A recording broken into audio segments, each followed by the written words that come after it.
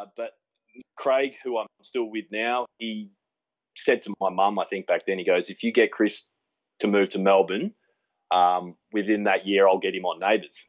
Um, and he lived up to that. So that's that's a pretty cool thing. That's a pretty cool thing to hear. How, what did your parents think when you when did you tell them that you wanted to do acting? Ah, it was one of those things. I knew I was never going to go to uni Mhm.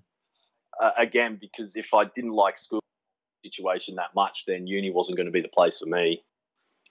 Um, it was probably going to be carpentry.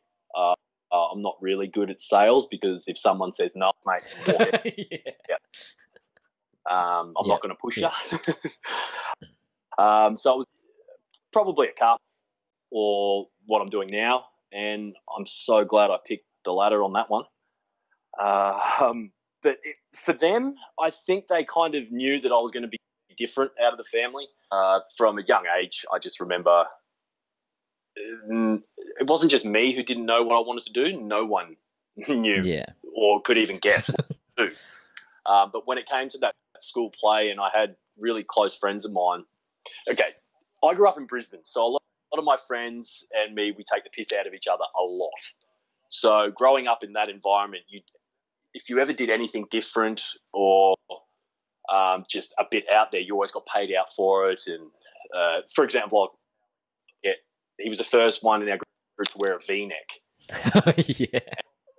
he got paid out for the next shirt. So when it came to me doing the school play, I was like, oh no, how's this going to go? You're playing the bully at least, right?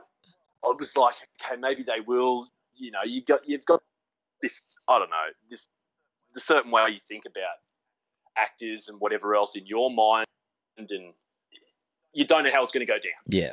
Came and watched the school play. Uh, my family and friends. It was them that actually solidified to me that, that this is what I want to do because they were like, dude, that was awesome. Like they didn't pay me out. They didn't, you know, give me shit about it or whatever else. It was like, no, dude, wow, that was awesome.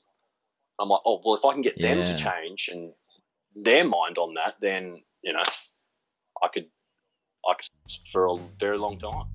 Hello, and thank you for watching this takTalks clip. If you enjoyed it, please like and subscribe. If you want to see the full conversation, click here. If you want to see all of the takTalk clips, click here. And if you want to see all of the takTalk conversations, click here.